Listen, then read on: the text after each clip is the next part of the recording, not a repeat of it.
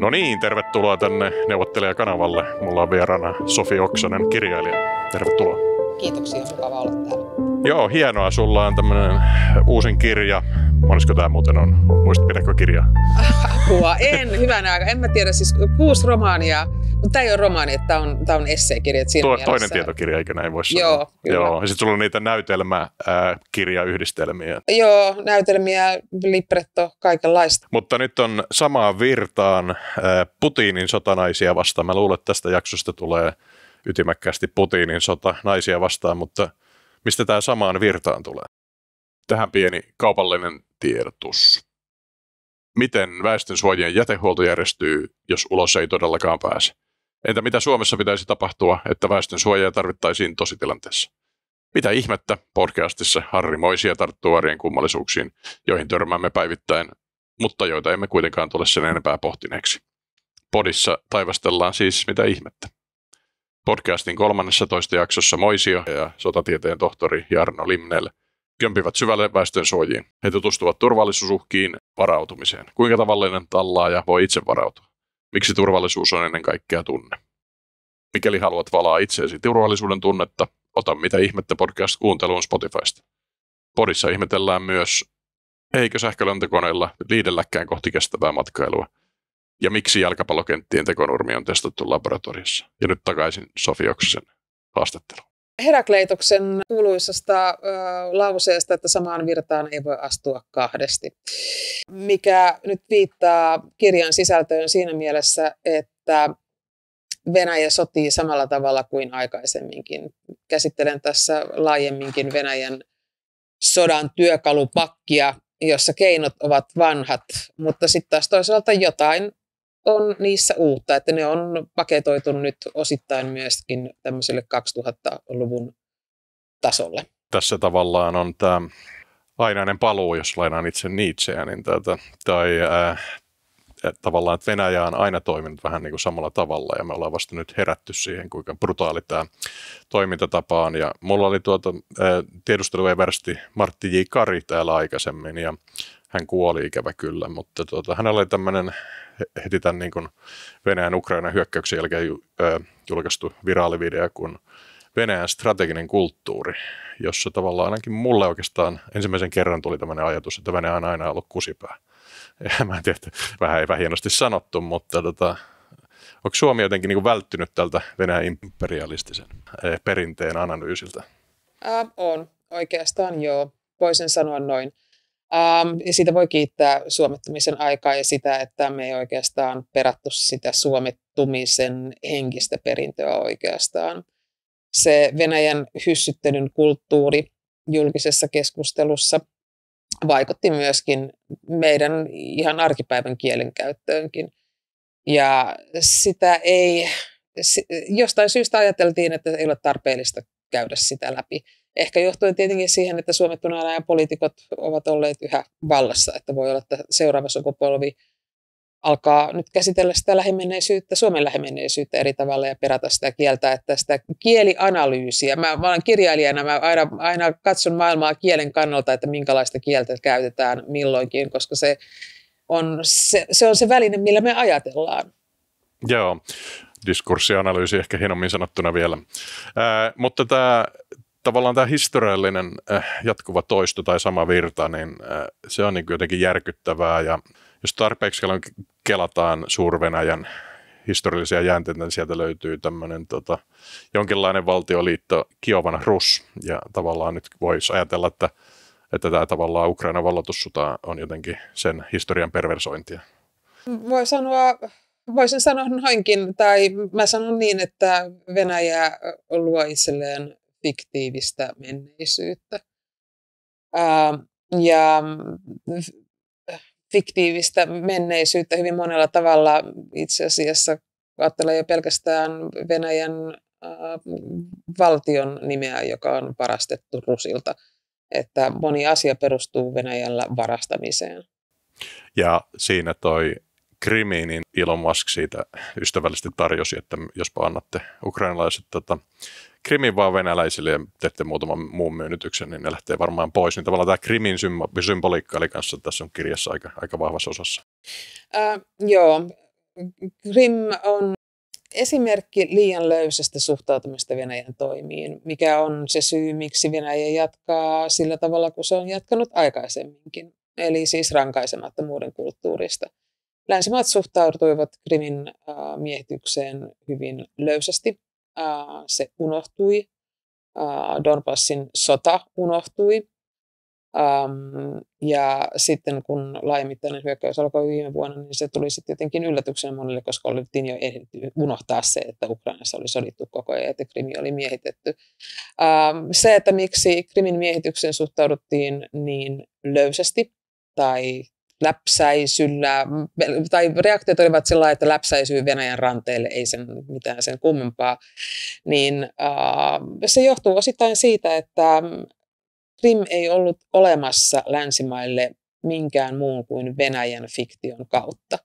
Eli monet länsimaissakin ajattelivat, että Krim jotenkin mukavasti luonnollisesti kuuluu Venäjälle siksi, että Venäjän fiktio menneisyydestään on dominoinut länsimaissa. Joo, ja sieltä oli puhdistettu tatarit ja muut, ja tavallaan se Sevastopolin laivastotukikohta, eikö sinne oli jäänyt, ja sitten tuota, tämmöinen teoria, että se oli vaan Rustsevin äh, lahja, lahja Ukrainalle, niin tavallaan toimii ehkä siinä pehmentimenä.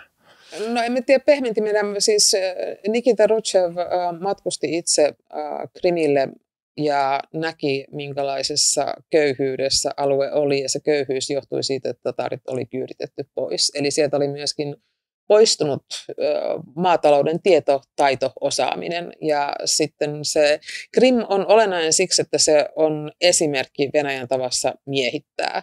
Eli kun Venäjä miehittää, se poistaa alueen alkuperäisväestön ja sen yhteiskunnan rakenteissa toimineet ihmiset ja tuo sitten paikalle uudisasukkaansa. Ja silloin kun sitten Rutschev vieraili Krimillä ja näki, että ne venäläiset uudisasukkaat eivät pystyneet sitten, eivät osanneet tehdä siellä mitään, niin hän ymmärsi, että tämä nyt jotenkin täytyy laittaa järjestykseen ja sen vuoksi siis halusi, että Krim kuuluu uh, Ukrainaan, koska siellä on siis se yhteys ja vesiyhteys ja kaikki muu tulee Ukrainaan. Joo, sitten tämä kirjan miehelle niin kuin raju osa on tämä raiskauksen käyttö sotadoktriinissa. Se tietyllä tavalla lähti liikkeelle tämän suuren isänmaallisen sodan ja Stalinin Berliinin valloituksen kautta, jossa ilmeisesti raiskattiin kaksi miljoonaa saksalaisnaista. Että, tota, että tavallaan siitä lähtien on tavallaan rakennettu, tai ehkä jopa sitä ennen, sotateollisuuden haara, joka erikoistuu raiskaamiseen sodankäynnin osana. Venäjän armeijan kulttuuri on jo itsessään sellainen, että se edesauttaa seksuaaliväkivaltaa jo pelkästään siksi, että Venäjän armeija käyttää itse armeijassa seksuaaliväkivaltaa, eli siis sotilaita raiskataan ää, ja simputetaan, siihen liittyy seksuaalisia elementtejä usein. Ähm, et siinä mielessä se on jo rakennettu itse armeijaan. Ja sitten kun yhteiskuntaa rakennetaan sellaiseksi, että se tukee tällaisia tekoja, niin silloin ne ovat mahdollisia. Ja tätä myös on käytetty sitten tämän imperialistisen äh, laajentumisen aseena, eli, eli tässä oli sulla äh, virolaisen sukuhaarasi omakohtaisia kokemuksia, että siellä tavallaan miettii, että on tätä käyttänyt. Joo, kyllä. Siis isotätini vietiin kuulusteluihin ja kun hän palasi, niin hän oli kyllä elossa, mutta hän ei enää puhunut. Ja äh, sitten min kun olen perehtynyt seksuaaliväkivallan uhrien traumareaktioihin, niin itse asiassa tämä, että ihminen lopettaa puhumisen, niin se ei ole mitenkään harvinainen traumareaktio. Että yksi syy, miksi, miksi näistä asioista pitää puhua enemmän, liittyy myös siihen, että ne traumat ovat hyvin pitkäkestoisia, ei pelkästään henkiset, vaan myöskin uh, ihan fyysiset terveysongelmat voivat seksuaaliväkivallan uhreilla jatkua koko loppuelämän. Ja tätä on Ukrainassa tehty Butsassa ainakin ja, ja sitten tota, muissa näissä Venäjän miehittämissä alueissa. Ja silloin on ilmeisesti ollut myös tuota, kotijoukkojen tuki, tuki, eli tavallaan tämä toiminta ei ole pelkästään armeijan moraalin korruptio. Joo, äh, no se on selvää, että jokainen sotilas haluaa palata kotiin äh, juhlittuna sankarina, ja sen vuoksi kotirintaman tuki on tärkeää, ja äh, kyllä niillä sotavoimilla on se kotirintamatuki. Se tietenkin on, on hämmentävää, että monissa siepatoissa puheluissa käy hyvin ilmi, että kyllä ne naiset siellä kotona tietävät, mitä heidän miehensä rintamalla tekevät. Se on, se on, se on hämmentävää, mutta, äh, mutta näin nyt on. Joo, ja yksi äh, selitys siellä kirjassa oli, että on tämmöinen niin kuin baabuskat ja tavallaan niin kuin matriarkaalikulttuuria ei ole, mutta miehiä kun tavallaan kuolee paljon, ei pelkästään sodan kynsissä, vaan niin kuin ihan holtittomaan elämään ja ryyppäämiseen ja muuhun, niin naisia on enemmän, niin tavallaan tavallaan ne huonotkin miehet kelpaa ja niitä pitää paapoa. Joo, tämä on, tämä on asia ja näkökulma, joka on tullut esiin, johon on törmännyt useampaan kertaan. Että Venäjällä, kun se miesten, mie, miesten, miten nyt sanotaan kauniisti? Puuli. niin miesten puuli on heikohko. Hmm. Uh, niin s- sitten kelpaa sellainen, joka ei ehkä jossain muualla maassa itse asiassa olisi mitään aviomiesmatskua todellakaan. Että joku, joku äijä siihen on niinku saatava ja on mentävä naimisiin, uh, koska sukupuoliroolit ovat perinteisiä naisten oletetaan menevän naimisiin, niin joku äijä sieltä nyt niin kuin sinne sitten hankitaan. Uh, mutta sitten se parhaimmisto lähtee. Joo. Sitten taas nämä niin kun, naiset indoktoroidaan laajasti esimerkiksi tätä koulutuslaitoksessa, niin kuitenkin niin puhumaan sitä totalitarismin pelikirjaa, johon sitten kuuluu tämmöistä niin ihmeelliset asiat kuin stalinismin ylistäminen ja tavallaan länsimaiden luokittelun fasisteiksi ja, ja tavallaan niin kuin aika, aika niin kuin outoja asioita, että luulisit niin kuin maailman, onko se nyt sitten Stalinin maan jälkeen toisiksi pahin niin murha ja ainakin modernilla ajalla, niin tota, että miten siitä voidaan leikkoa, leipoa kansallissankari? Stalinin ymmärtäminen on kehittynyt Venäjällä Putinin hallinnon aikana merkittävästi ja Stalinin rehabilitoinnista olin huolissani jo aika, aika päiviä sitten ja monessa muussakin maassa äh, oltiin huolissaan, mutta se oli monissa länsimaissa, Suomessakin se ehkä oli sitten vain sellainen äh, eriko venä, kuriositeettiuutinen, kuriositeettiuutinen venäläisistä outouksista, mutta ei, se ei johtanut syvempään analyysiin siitä, että mitä tämä nyt ihan oikeasti tarkoittaa, jos Stalinin kaltainen diktaattori nähdään hyvänä johtajana maassa, tai että jos sitä ihannoidaan, ja jos sen kaikki teot ja hänen järjestelmänsä nähdäänkin yhtäkkiä positiivisessa valossa, niin mitä se nyt ihan oikeasti tarkoittaa Venäjän kehitykselle ja mitä se tarkoittaa meille muille? Niin se mietintä jäi kyllä välistä. Joo, ja sitten tämä ehkä liittyy tähän suuren isämaallisen so, sodan niin tuota, myytin nostamiseen, jossa tietysti Stalin oli se suuri voittaja, joka, joka Stalingradin taisteluista nousi Berliinin muurille tuota, yksin pelastamaan koko maailman. Joo. Suuren isämaallisen sodan myytti, joka nyt on sementoitu perustuslakiin, hyvin poikkeuksellista verrattuna moneen muuhun maahan tai kaikkiin muihin maihin itse asiassa – niin ää, se on siitä jännä myytti, että sehän lähtee siitä, että suuri isämaallinen sota alkaa vuodesta 1941. Eli sitä ennen ei oikeastaan tapahtunut mitään olennaista, ei esimerkiksi Molotov-Ribbentropin sopimustakaan. Ja äh, kun poistetaan siitä se myytti poistaa muut toisen maailmansodan olennaiset tapahtumat, niin se maailma alkaa näyttää hyvin kummalliselta siitä näkökulmasta. Ja käytännössä katsoen se esimerkiksi tarkoitti myös sitä, että holokaustista tuli enemmän tai vähemmän tabu Neuvostoliitossa, mikä on sitten taas puolestaan johtanut siihen, että keskustelu holokaustista on täysin toisenlaista Venäjällä kuin mitä se on lännessä, koska se holokaustia ei Venäjällä nähdä ylipäänsä niin kuin juutalaisten joukkotuhona, vaan neuvostokansalaisten niin kuin menetyksinä. Ja näin ollen se keskustelu kansan murhasta esimerkiksi on täysin niin kuin toisenlainen. Se on sen vuoksi myöskin tämä holokaustin muiston manipulointi on yksi osa sotastrategiaakin tuota Venäjällä, että yksi tapa sotia. Koko toisen maailmansodan pelkistäminen tavallaan fasistien vastaiseksi taistelusta, jossa Venäjällä oli ainoa rooli käytännössä, niin siellä ei tarvita toista, toista draaman kaarta juutalaisten tuota, vainojen pelastamisesta. Ei, ei, koska kärsimys, kärsimys on varattu pelkästään venäläisille ja neuvostoliittolaisille neuvostoaikana ja sen vuoksi ei, ei niin kuin Neuvostoliittohan oli hyvin antisemitistinen valtio ja Venäjä on antisemitistinen valtio yhä. Joo, ja nythän tämä menee mielenkiintoiseen kulmaan, koska nyt on tämä Israel ja Palestiinan tilanne ja taas Venäjältä on paljon muutti, muutti tuota, juutalaisia Israeliin, niin tavallaan sitten toisaalta niin kun Venäjällä olisi pelin paikka tavallaan globaalin etelän eh, johtajaksi nousemalla, vähän niin kuin myötäilemällä sitä arabi-Hamas-linjaa, niin tavallaan tämä trollistrategia menee niin kuin mielenkiintoisiin kulmiin, kun tavallaan toi on sitten kuitenkin, kuitenkin tota, niin kuin uusi tilanne. Niin, no se, se nyt en, en osaa sanoa, minne se kehittyy. Joka tapauksessa se Israelin tilanne äh, edesauttaa Venäjää hyvin monella tapaa jo pelkästään siksi, että maailman huomio on suuntautunut nyt pois Ukrainasta.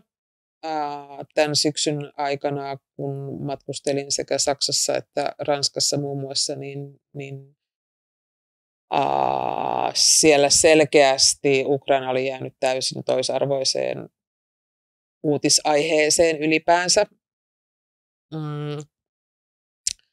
Ja nyt kun mietitään tietenkin siis ylipäänsä rahoitusta, niin varmaan voi sanoa niin, että rahat eivät riitä kaikkeen. Ja ikävä kyllä musta tuntuu vähän siltä, että monissa maissa ei ole oikein sisäistetty sitä, että mitä Venäjän voitto ihan oikeasti tarkoittaisi meidän tulevaisuudelle. Joo, noin se on. Ja tavallaan itsekin siis huomaan, mä jäin jopa, tein paljon esimerkiksi Pekka Toverin kanssa tätä näitä Ukrainan rintama-analyysejä ja huomasin, että oli tosi paljon kiinnostuneita ihmisiä siitä ihan niin kuin mikrorajan liikkeistä analyysiä, että nyt, nyt tuota, mistä kohtaa Dnieper, jo, jokea tuota, niitä joukot etenee, mutta tuota, itsekin on niin kuin huomioon hypännyt muualle ja sitten taas tukirahat on pienentynyt Ukrainalle ja varsinkin niin kuin amerikkalaisten tota, se iso tuki on nyt vähän vaan asemassa, niin se on kyllä kurja tilanne. Ähm, niin, ja vaikka viime vuonna hyökkäyksen alettua, niin musta tuntui, että vihdoinkin se keskustelu Venäjän harjoittamasta imperialismista ja kolonialismista olisi päässyt oikeasti käyntiin. Ja on se päässytkin, mutta kuten sanoin, niin ehkä länsimaissa ei ihan ole sisäistetty sitä, että mitä se tarkoittaa, jos Venäjä ei häviä. Ja ehkä myöskin on hieman niin kuin hämmentää mua se, että kuinka paljon selkeästi monissa länsimaissa pelätään Venäjän romahdusta. Että ikään kuin, niin kuin, tai Venäjän hajoamista. Että se on niin pelottava asia, että, sen, että sekin yritetään estää. Ää, ja en, en mä tiedä siis, kuinka kauheita se nyt olisi niin kuin siis meidän muiden kannalta. Joo, ei, otetaan Et... sieltä vaan Karjalan maakunta takaisin, takaisin että niin. se menköön palasiksi, mutta toi äh, tavallaan, mikä itsellä on huomannut tästä, tämä NATO-liittyminen on niin kuin muuttanut aika monia asioita, mutta yksi asia oli, että tavallaan semmoinen vähättelevä näkemys Itä-Eurooppaan ja Baltiaan, niin se on niin kuin vähitellen poistunut ja se on myös ihan tervettä, koska, koska tavallaan jos nyt katsoo ihan tällä realistisesti sitä tilannetta, niin tavallaan nämä rautaisiin riipun Varsovan liiton alla olevat maat on niin kuin nähnyt tämän tilanteen ja tavallaan heti mennyt NATOon ja nähnyt niin kuin venäläisen raadollisen imperialismin ihan omakohtaisesti, niin tavallaan tuntuu nyt vähän niin kuin naivilta lukea niitä Suomen keskusteluja kymmenen vuoden takaa, kun tavallaan vähäteltiin tätä viisautta. Ähm, joo, se Suomessa oli hyvin hankala hyvin pitkään puhua Venäjän, Venäjän negatiivisista toimintamalleista – Ähm, muistan itse oikein hyvin sen, kun jo Krimin valtauksen jälkeen äh, itse sanoin, että Venäjä ei voi olla äh, teemamaana Helsingin kirjamessuilla kun, kun kirjamessuilla on joku maa teemamaa, niin se tarkoittaa sitä, että se valtio rahoittaa siis sen. Eli kyseessä oli siis Venäjän federaation rahoittama toiminta Helsingin kirjamessuille ja silloin kirjamessu, äh, kirjamessu äh, johtaja äh, määritteli, määritteli, että kirjailija näkee vähän mörköjä, mörköjä siellä sängyn alla, että ei mitään, naureskeltiin mm. niin kuin sille, että, että, että, ja vaikka siis krimi oli mie, miehitetty, että tällaista, tällaista ase, asennetta kyllä oli hyvin runsaasti Suomessa.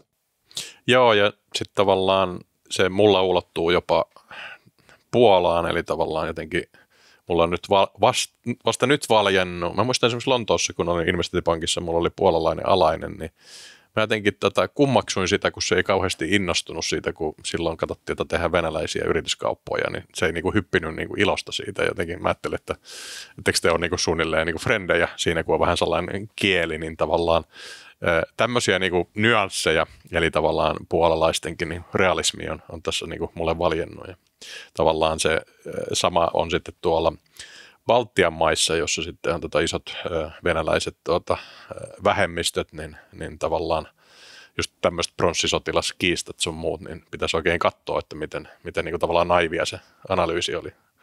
Niin, siis äh, oli äh, vuonna 2007 oli äh, testipallo lännelle. Äh, Suomessa uutisoitiin siitä mittavasti, monissa muissakin maissa uutisoitiin mittavasti ää, ja sen jälkeen se unohdettiin. Se oli kansainvälinen uutinen hetken ja sitten unohdettiin. Ei millään tavalla, että mitä tämä ihan oikeasti tarkoittaa, miksi Venäjä toimii tällä tavalla. Tietenkin silloin oli attribuutio-ongelma siinä mielessä, että Venäjä onnistui järjestämään toimintansa niin, että välittömästi ei saatu todisteita Venäjän osallisuudesta, että siihen analyysiin ja, ja meni siis vuosia – ennen kuin kunnon äh, raporttia ja tiedonantoa äh, niin kuin analyysiä saatiin itse tilanteesta, joka yllätti myöskin siis Viron. Virossa ei ollut, eikä ole ollut sen jälkeen mellakoita, että se on hyvin poikkeuksellista siis. Äh, Virossa ylipäänsä niin kuin tällaiset, se mikä, se mikä mua nyt on nyt taas puolestaan nyt ihan nyt viime vuoden jälkeen hämmästyttänyt, on se, että moni disinformaatiosta ja hybridioperaatioista puhuva asiantuntija, joka käy läpi menneitä operaatioita, niin on täysin unohtanut tämän pronssipatsaskiiston, vaikka siis se oli ehdottomasti olennainen, olennainen tapaus. Joo, ja sitten tavallaan tämä kansallisen muistin häivittäminen, mitä tällä kirjassa oli, niin tavallaan siinä oli se omakohtainen kokemuksesikin noista tätä päiväkirjoista tavallaan huomasit, että olet itse sensuroinut lahjakkaasti itseäsi niin kuin todella laajasti. Joo, se, se oli, äh, tämä on, on yksi esimerkki äh, totalitaristisesta järjestelmästä, että miten se vaikuttaa ihmisen käyttäytymiseen. Ja äh, mä olen aina pitänyt päiväkirjaa siitä asti, siis kun opin, äh, opin kirjoittamaan kuusivuotiaana. Ja vasta sitten itse asiassa aikuisena tajusin, että mä en ollut kirjoittanut mitään Neuvostoliittoon liittyvää päiväkirjoihin, mikä oli itselleni siis iso yllätys, koska mä olin aina kuitenkin vienyt sen päiväkirjan mukana, niin se kulki mulla mukana. Ja mä kirjoitin hyvin paljon sellaista arkipäivästä yksityiskohtaista, lämpötiloja, säitä, mitä syötiin, muuta tällaista, mutta sitten heti kun neuvostoraja ylitettiin, niin, niin, niin, niin mä en kirjoittanut mitään, vaikka mulla oli siis mukana se. Tämä oli, oli mulle itselleni niin kuin, niin kuin mä hämmästyin siis itse sitä aikuisena, aikuisena itse, koska se ei ollut mitenkään, kukaan ei ollut siis kieltänyt minua kirjoittamasta. Kukaan ei ollut sanonut, että älä tee näin. Kukaan ei, toisaalta sitä ei niin kuin myöskään tarvitse, koska jos ymmärrät totalitaristisen valtion säännöt, niin ne, niihin kasvaa. Mutta analysoiko sitten kuitenkin, että sä tiedollisesti ajattelet, että joku voi jäädä ongelmiin tässä jossakin? Siis se, joo, joo, siis se on, se on ihan siis selvä, koska siis se äh, kulttu, kulttuuri oli siis sellainen, että mistään, äh, mistään mahdolliset ihmiset vaarantavat asioista ei koskaan puhuttu äh, paikoissa, joissa voidaan kuunnella.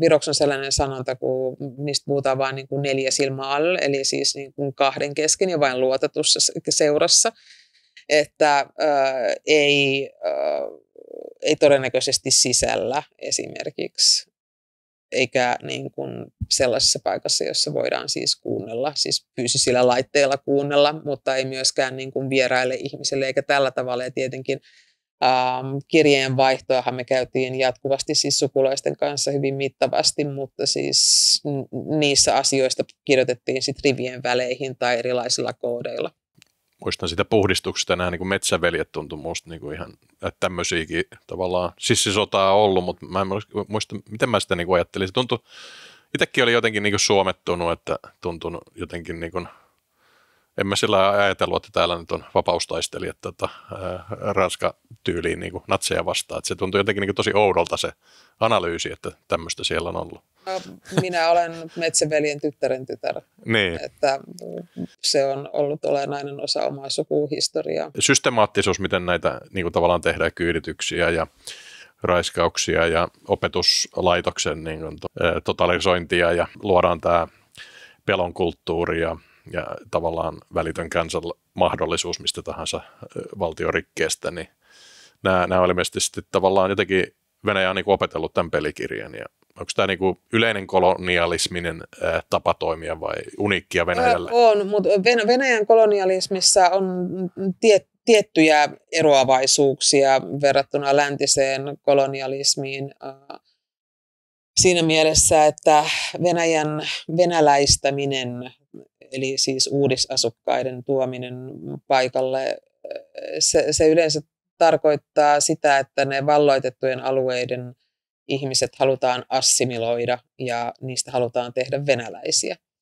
Että vastaavasti brittiimperiumi tai vaikka ranskalaiset, tietenkin he ovat niin kuin kielen tuoneet usein mukanaan, mutta he eivät ole kuvitelleet siitä, että, että jonkun ei, eivät britit ajatelleet, että intialaista pitää tulla englantilaisia et siinä mielessä siinä on niin kun, e, se ajattelutapa on toisenlainen. Se, että miksi Venäjän imperialismia ei ole tunnettu, tai siitä ei, sitä ei ole käsitetty imperialismin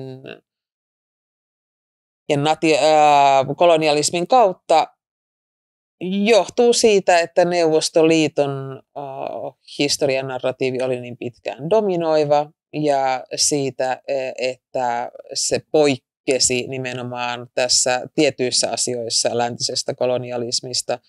Venäjä ei ole pyrkinyt valloittamaan maita merten takaa esimerkiksi, kun taas puolestaan läntinen kolonialismi on ollut sellaista, mihin mennään laivoilla. Venäjä, Venäjä, venäläinen kolonismi on jotain, minne ratsastetaan. Joo, ja sitten tämä tavallaan tämmöinen gulakkilaitos, tuota, huomasin, että olit Äh, Solzhenitsin äh, vankileirien saaristosta äh, itse tuottanut jonkun, jonkun version ja ku, rupesin kuuntelemaan tota Applebaumin tota, niin modernia versiota niistä gulageista, niin tavallaan tämäkin tämä gulakkilaitoksen analyysi puuttuu mun täysin niin kuin Suomesta, että kuinka järjestelmällistä se oli ja kuinka, kuinka niin kuin iso se oli. Äh, joo, ja jos ajatellaan Suomesta julkaistuja kirjoja, niin on hämmentävää sitä, että minkälainen määrä täällä jatkuvasti ilmestyy Hitlerin Saksasta kirjoja. Ja, ja siis kaikki ovat ihan täysin niin kuin päteviä. Jokainen kirja keskitysleireistä on tärkeä, en kiistä niiden tärkeyttä millään tavalla. Mutta sitten taas puolestaan ajatellaan sitä, että Neuvostoliiton vankileirijärjestelmästä julkaistujen kirjojen määrä on huomattavasti pienempi huolimatta siitä, että kyllä suomalaisilla on enemmän henkilökohtaista kokemusta Siperian leireistä kuin Saksan leireistä. Joo, sitten tämä trollistrategia ja tavallaan tämä naisten alistamisen strategia, niin ne kietoutuu yhteen Venäjä antifeminististä aatetta tuo trollien kautta, mutta tota, jotenkin siis, onko Venäjän tarkoitus vain luoda hämmennystä länsimaissa vai oikeasti muuttaa länsimaisia yhteiskuntia johonkin suuntaan? Heikentää ja polarisoida ja polarisaation sopii nimenomaan naisten aseman heikentäminen. Se on tietoinen strategia. Ähm, eli silloin polarisaation käy mikä tahansa asia, joka on polarisoiva. Ja tietenkin sellaisessa maassa, jossa kunnioitetaan tasa-arvoa arvona, kuten esimerkiksi Suomessa, muissa Pohjoismaissa – niin silloin polarisaatiota luodaan heikentämällä tasa-arvoa tai ajamalla äh, feministit esimerkiksi riitelemään keskenään. Että hyvä esimerkki on naisten marssi, joka oli Yhdysvalloissa suurin, suurin äh, demo, äh, mielenosoitus, marssi. Ja siellä jo vasta siis sen marssin jälkeen, kuten usein näissä tällaisissa operaatioissa, sitä tutkimustulosta saadaan vasta jälkeenpäin, kun vahinko on siis jo tapahtunut. Niin kävi ilmi, että Venäjän sotilastiedostelu äh, tuotti hyvin runsaasti materiaalia äh, esimerkiksi Twitteriin, jolla äh, se pyrki ajamaan feministit riitelemään keskenään. Ei siis niin, että miehet ja naiset olisivat alkaneet riidellä keskenään, vaan että feministit alkoivat riidellä keskenään. Että he loivat hyvin paljon feikkiprofiileja ja muuta tällaista, että saatiin liberaalimmat ja konservatiivi, konservatiivisemmat feministit riitelemään keskenään, mustat ja valkoiset, keskisluokkaiset ja työväenluokkaiset niin kuin feministit. Feministit siis alkoivat riidellä keskenään. Jännä miettiä, että siis tietyllä tavalla ne on nyt oman yhteiskuntansa niin kuin runnellut semmoiseksi jonkinlaiseksi ihmeelliseksi matsokulttuurissa, jossa kuitenkin naiset kuuliaisena tota, kasvattaa seuraavan sukupolven aina, aina samanlaiseksi jostain kumman syystä.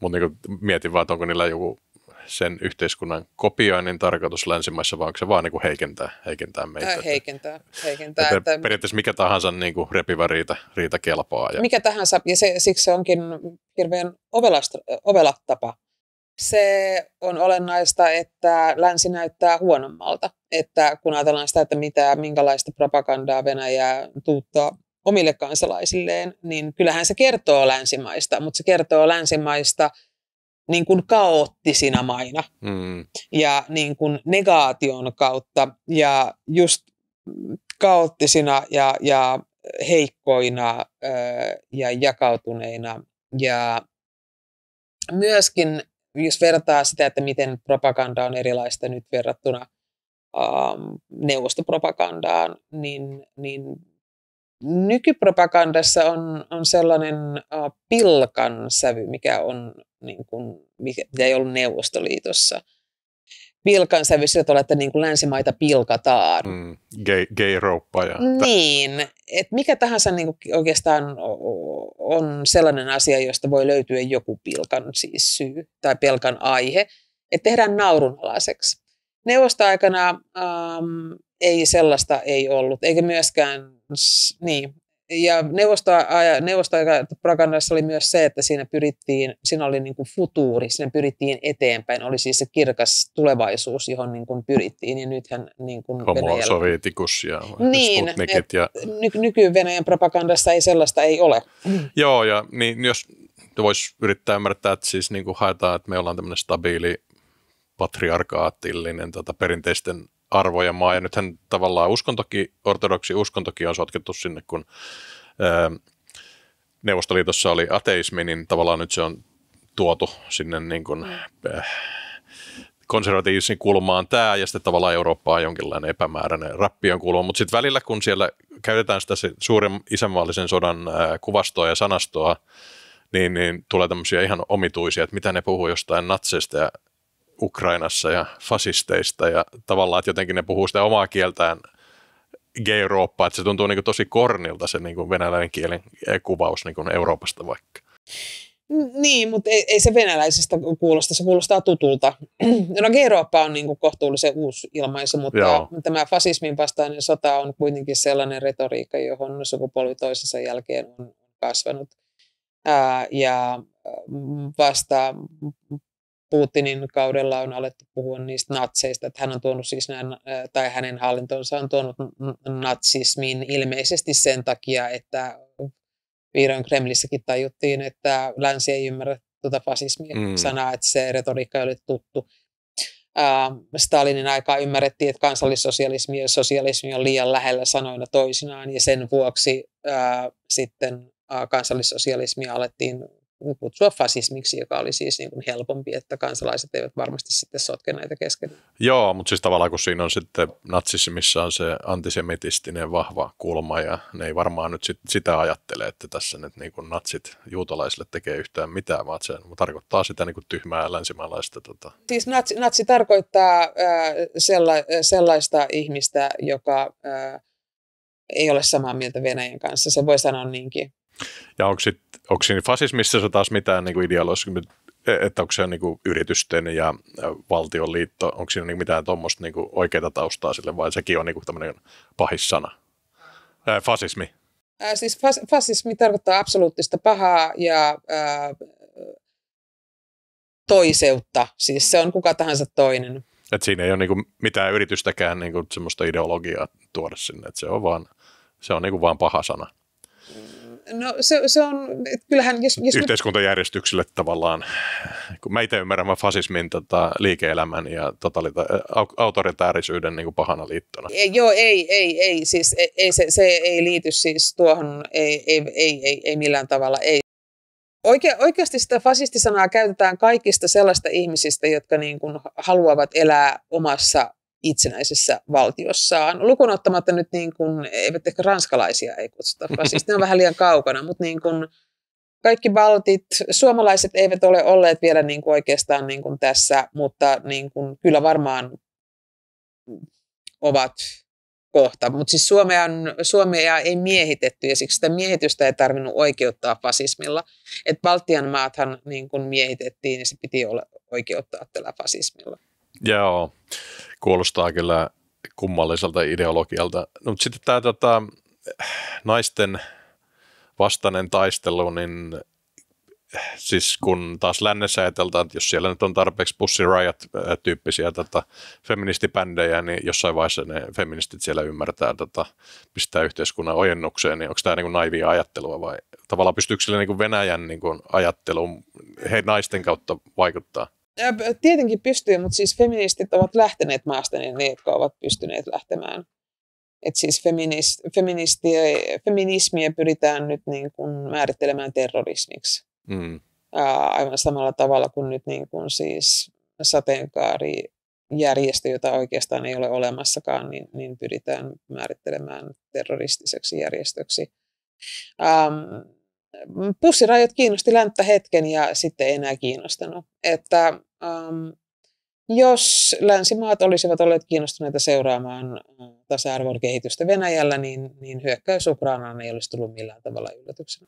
Joo onpas kyllä kummallinen kulttuuri. Onko sitten tätä vielä mietin, että mihin kulmaan tämä voi mennä, että jos nyt sitten Venäjän intresseissä on niin pistää kaikki huomio lähi koska se vähentää Ukrainan tukea ihan rahallisesti ja huomiollisesti, niin, niin olisiko sitten seuraava trollauksen aalto jotenkin, jotenkin niin kuin sitä konfliktia lietsoa. Ja yksi tapa on tuoda tämä niin kuin jihadismi, ää, antisemitismi, taistelu jotenkin?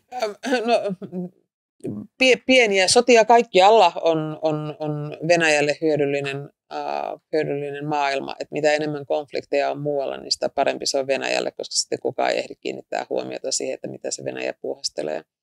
Eikä kukaan ehdi niin kuin myöskään kiinnittää huomiota siis niiden ihmisoikeusrikoksiin. Et siinä mielessä, niin kuin, mutta siis eri alueillahan toimii eri asiat. Mm että mitä enemmän pikkupaloja on, niin sitä parempi.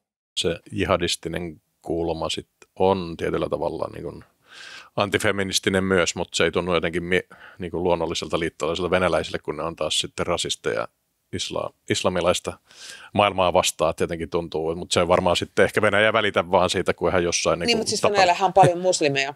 niin. Niin kuin, että islam on iso uskonto Venäjällä. Joo, mutta sitten taas sitten tämä vastaava. Siis tässä Tsetseeniasta tuodaan, niin. Niin, tuodaan niitä sotilaita sitten, niin. mutta ne on kuitenkin semmoisia vähän niin kuin toisen luokan pellejä niin kuin niiden oikeiden venäläisten silmissä. Että. Ja, no siis Tsetseenin viha on kyllä ihan olemassa oleva asia mm. Venäjällä, mutta nyt niin tuota se nukkehallitsija Kadirov niin. nyt niin kuin myötäilee ja siis se on Kremlin kannalta olennainen olennainen taho Tsetseniassa, jotta siellä ei nyt sitten enemmän asiat lähde lapasesta.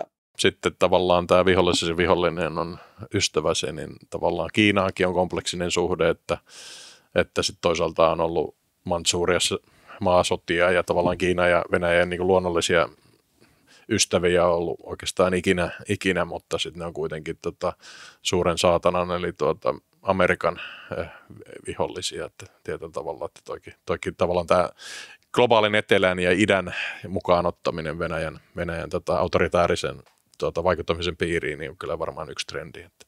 On, on. Siis totta kai Venäjällä on suuret intressit niin kuin monissa, monissa maissa ja tämä hmm, naisviha, misokyniä tarjoaa yhden, yhden vipuvarren luoda yhteisöjä ja, ja luoda näitä liittolaisuuksia myöskin, koska ei nyt näitä kaikki, mikä, mikä näitä maita niin kuin, niin kuin yhdistää. Näitä yhdistää esimerkiksi heikko tasa-arvon tilanne. Niitä yhdistää vihamielisyys seksuaalisia vähemmistöjä kohtaan. Niitä yhdistää se, että naisille ei haluta antaa valtaa, ei poliittista eikä taloudellista. Joo, kyllä tässä tota, autoritaariset voimat, voimat kyllä vahvistuu ilkeästi. Ja, ja tota, no tämä on nyt, tota, nyt sitten ehkä puhdistuksen jälkeen sitten kai kansainvälisesti niin kuin kiinnostavin kirja, mitä sulla on, olisiko tämä niin kuin reilu arvio, että on aika monta käännöstä? Ei, ei, ei, ei, ei, ei, kyllä mun kaikki kirjat on kuitenkin käännetty yli 30 kielialueella. Aa, okei, okay. mutta tota, onko tämä tavallaan nyt kun tätä käännetään ja on julkaistu tuolta eri maissa, niin tota, onko tämä tavallaan tämä Ukrainan ää, käsittely just tämän ää, seksuaaliväkivallan ja sodan ää, tuota, työkaluna, niin resonoinut muissa maissa, oletko saanut kommentteja? No kirja ilmestyi siis nyt vasta ä, lokakuussa ja ensimmäinen käännös on vasta ilmestynyt, eli Ranskassa ilmestyi Joo. nyt ä, marraskuussa. Et mä jätin itse käsikirjoituksen vasta elokuussa, niin ei ole vielä ehtinyt, niin tuota, että seuraavat käännökset ilmestyy nyt ensi vuoden alussa norjaksi, saksaksi ainakin nyt niin kuin heti vuoden alkuun. Uh, no siis Ranskassa kolonialismista puhuminen on aika lailla itsestään selvää, että siinä mielessä siis se on ihan hyvä keskusteluympäristö ja myöskin tasa-arvosta puhuminen on niin kuin, ihmisillä on siis työkaluja käsitellä tällaisia aiheita. Mutta ihan yleisesti ottaen, jos katsoo sitä, niitä kirjoja, jotka, jotka on, joita on ilmestynyt vuoden mittaan Ukrainasta ja Venäjästä, ja joita nyt on vähän niin kuin vilkuilu, että mitä ilmestyy ensi vuonna, niin kyllä tämä ää, sodan sukupuolittuneisuus, naisnäkökulma ja seksuaaliväkivalta loistavat poissaolollaan. Martti J. Karintasi, jos palataan tähän Venäjän strategiseen kulttuuriteoriaan, niin hän näki tämän 90-luvun tuota, lyhyen demokratisoitumisajan ja, ja tavallaan Jeltsinin heikkoiden ajan varmaan Putinin näkökulmasta niin tätä hyvin ohikiitävänä välähdyksenä 2000 vuoden niin kuin jatkumossa, jossa sitten tavallaan muuten ollaan oltu todella aggressiivisia, niin jääkö Putinilta nyt sitten kuinka pysyvä perintö? Onko tässä niin kuin mitään toivoa? Jekaterina Schulmanin mukaan, no, venäläinen politiikan tutkija, niin, niin hänen mukaansa, jos Putinin hallinto onnistuu kasvattamaan yhden kokonaisen sukupolven – eli koululaisia tässä uudessa patriottisessa järjestelmässään, eli ensimmäistä luokasta viimeiseen asti, niin silloin se on jo aika vakaa järjestelmä, koska silloin se on myöskin saanut ne, jotka tuot, alkavat tuottavat sitä järjestelmää. hyvin paljon on viime vuoden aikana puhuttu siitä, että putinismi ei ole ideologia. Ja sitten ehkä unohdetaan siis se, että ei yksikään ideologia ole ideologia niin kuin näin, niin kuin että se yhtäkkiä syntyy sekunnissa, se muovautuu. Se muovautuu ajan myötä ja sitä juuri tällä hetkellä muovataan. Ää, että tällä hetkellä putinismi ei vielä ole niin kuin se täydellinen ideologia, mutta se on viitekehys. Ja voi olla, että siitä viitekehyksestä niin tuota, syntyy sitten niin ideologia ajan myötä. Mutta se, mikä on suurin muutoksen este, yksi suurimmista Venäjällä on se, että turvallisuuspalvelut ovat, ovat niin hyvissä asemissa. Voi sanoa, että turvallisuuspalveluilla on valtio, valtiolla ei ole turvallisuuspalveluita. Että ne on, puhutaan erittäin isosta alasta, joka on ottanut vallan itselleen, heillä ei luonnollisesti ole mitään intressejä sitten luopua siitä vallasta moni muukin toimi on edesauttanut tätä hallinnon vakautta, kuten vaikkapa nyt lakimuutokset ja perustuslain muutokset ja muut tällaiset asiat, mutta mm, jotta Venäjä voisi olla toisenlainen maa, niin turvallisuuspalveluiden valtaa pitäisi merkittävästi heikentää ja tällä hetkellä ei näytä siltä, että sellaista tulee tapahtumaan. Joo, ja Ivan Krastev, johonkin säkin viittasit kirjassa, niin tuota, Itä-Euroopan suuria filosofeja, niin tuota, ää, analysoi tässä Valo, joka kuoli kirjassa, että, ja Venäjällä tämä demokratia, joka niin näyttää, että siellä on vaalit ja muut, niin se on oikeastaan tämmöistä niin kuin, ää, lännen ää, niin kuin pilkkaa koko järjestelmä, että tavallaan ollaan käy, käyvinään vaaleja, mutta kaikki tietävät, että niillä ei ole mitään merkitystä.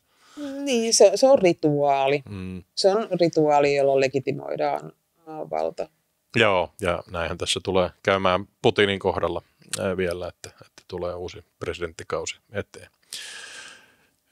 Hienoa tosiaan tämä Sofi Oksanen samaan virtaan Putinin sota ää, naisia vastaan. Ne on aika, aika rankka kirja, just tosiaan niin tämä raiskaustematiikka on aika, aika niin kuin rajua täällä, mutta tota, hyvä analyysi tästä, tästä tilanteesta, että kannattaa lukea tai kuunnella. Ää, Mä ehdottaisin, että mentäisiin tuonne sisäpiirin puolelle. Yksi idea oli, että tuota, samoin kuin J.K. Rowling kirjoitti tämän Harry Potterin ää, jälkeen tuota, kirjoittu lapsikirjan ensin näytelmäksi, josta tulikin kirja, niin puhdistuksessa käytit käsittääkseni samaa tekniikkaa, niin voitaisiin vaikka keskustella siitä, että näytelmästä kirjaksi tai kirjasta näytelmäksi. Ää, eli ehdotan, että mennään tuonne sisäpiirin puolelle ja jutellaan tästä asiasta. Kiitoksia. Kiitos.